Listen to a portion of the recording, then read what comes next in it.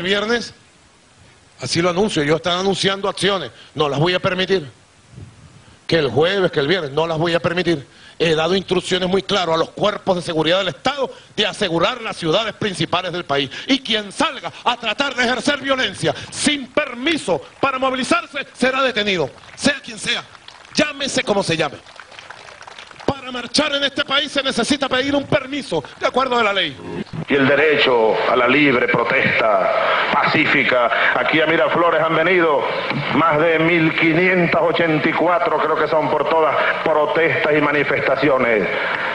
Jamás aquí ha salido un soldado, jamás ha salido un policía a remeter contra ninguna manifestación Para marchar en este país se necesita pedir un permiso, de acuerdo a la ley. Ahora se habla de que hay que tener un permiso Aquí está el permiso. Es un país que tiene libertad de manifestar. ¿Cuál permiso?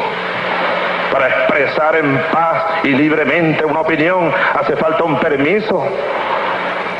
Para marchar en este país se necesita pedir un permiso, de acuerdo a la ley. ¿Cuál permiso?